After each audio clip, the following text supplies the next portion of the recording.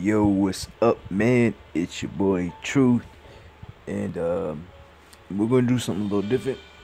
So first, we're gonna check out the current, um, uh, basically faction raid tournament early on.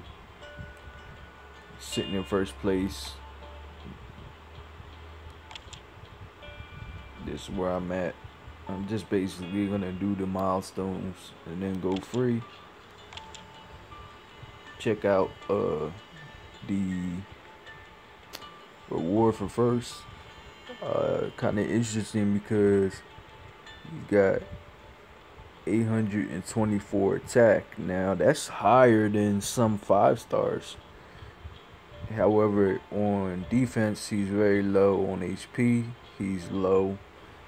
But 56 AP, 400 damage at 824. That's significant. And more importantly, stun for three turns to one enemy. So, how could you use him? This is actually one of the better four stars that I've ever seen because he's sitting at 824% attack or, or, or base stat attack 824. All right, for a five star, anything above 800 is considered good. He's hitting at 400% damage and stun for three turns. So his attack is equivalent to a five star with his AR. But the biggest thing here is he stuns one enemy for three turns. Now, it should be popping in your head already how to use them. The best way to use this dude, Axel here, would be to maybe maybe throw him on, you know, a team where where he's behind the shield and you got a command in there. Maybe command him to hit your opponent's shield and stun that shield for three turns, and now you got three waves to attack anybody behind that shield. Or perhaps it's a, rev- a revive character that you want to stun for three turns. Just that stun for three turns, man. That's crazy. So even if he just gets his AR off one time and then he dies, he did his job, you know what I mean, as a four star. But I mean, I wouldn't go crazy going for him, but you know, in our region, you know, nobody's really pushing that hard. I mean, the five times ultra rare gear is back. It, it, it last tournament it was, I believe it was elite gear mixed with a few rare gear and 10 bolts i don't know if you're gonna need every single bolt but you never know. And uh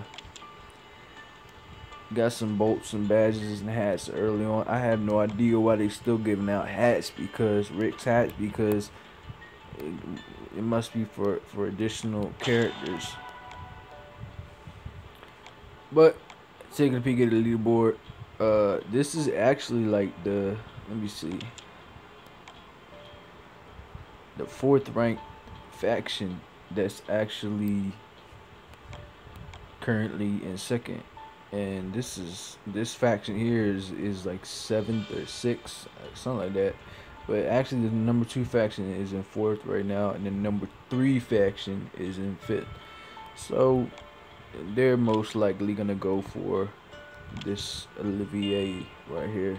Oliver or olivier i don't know his name but most likely going for him.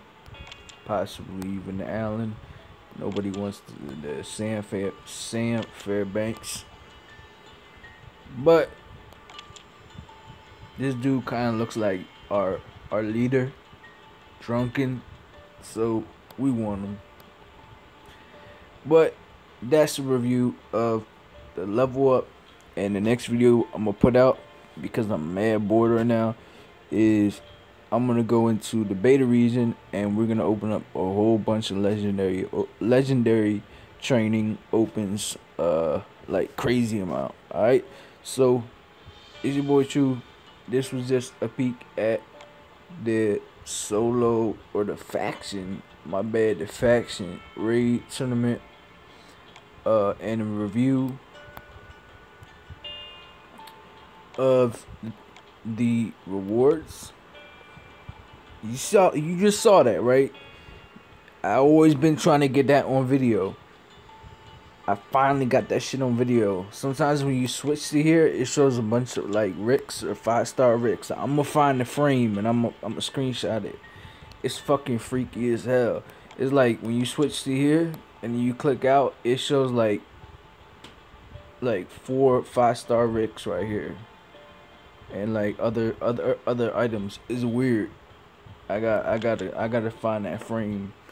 But yeah man, so that was a peek at the newest four star in the game. I'm not gonna review review the other ones because they they they have already been released in the game. I'm only gonna review new toons, but hey man, it's your boy True, and